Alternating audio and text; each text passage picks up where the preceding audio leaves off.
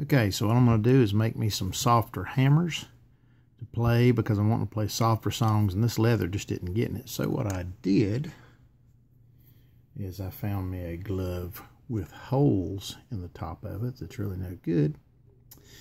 What I'm going to do, I'm just going to stick this hammer up in this glove. Like I said, it's just an old worn out glove. Go over here to my pinky. And there I've got a good soft playing surface. So what I'll do, I'll just hold that with my finger so I know where it's at. Then I'll take some scissors. This might be stupid, but okay. So now I have a little slip cover for my hammer.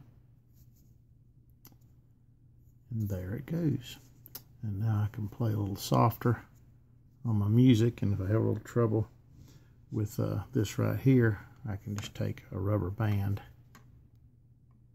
and just twist it around. I know that may add weight to the hammer, but at least it'll give me maybe a softer playing surface so I can play some softer songs. So we will see how that works out. I may play one of the songs, uh, maybe an old John Denver song or something, see if that softens it up a little bit. So there you go.